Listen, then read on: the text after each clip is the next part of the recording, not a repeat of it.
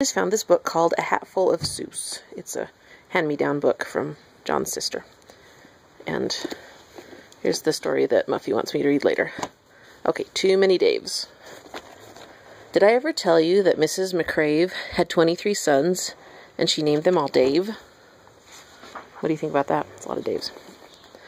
Well, she did, and that wasn't a smart thing to do.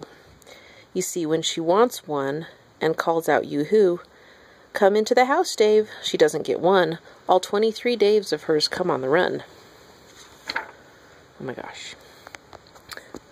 This makes it quite difficult at the McCraves, as you can imagine with so many Daves, and often she wishes that when they were born she had named one of them Bodkin Van Horn, and one of them Hoos-Foos, and one of them Snimm, and one of them Hotshot, and one Sunny Jim, and one of them Shadrach, and one of them Blinky, and one of them Stuffy, and one of them Stinky, and another one Put Put, and another one Moonface, another one Marvin O'Gravel Balloon Face, and another one Ziggy, and another one Soggy Muff, and one Buffalo Bill, and one Biffalo Buff, and one of them Sneepy, and one Weepy Weed, and one Paris Garters, and one Harris Tweed, and one of them Sir Michael Carmichael Zutt, and one of them Oliver, um, let's see, Boliver Butt, and one of them Zanzibar Buck Buck McFate, but she didn't do it, and now it's too late.